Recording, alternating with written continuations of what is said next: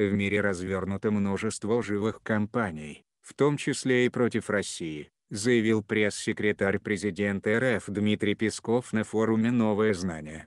Это обязывает постоянно быть начеку. В таких кампаниях очень часто на зерна правды накручивают целый лоскут лжи, и тогда еще сложнее становится понять, что здесь правда, а что неправда, минус отметил Песков.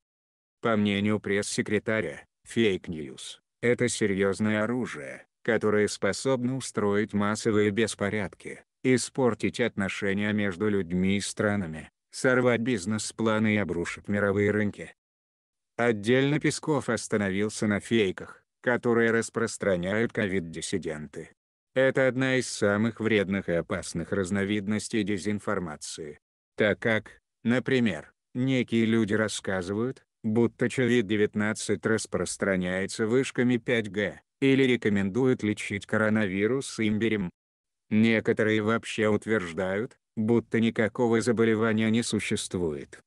Это все фейки, причем они вредные, потому что многие люди доверчивы и они не хотят вдумываться в суть информации, они воспринимают ее как первоисточник, минус добавил Песков.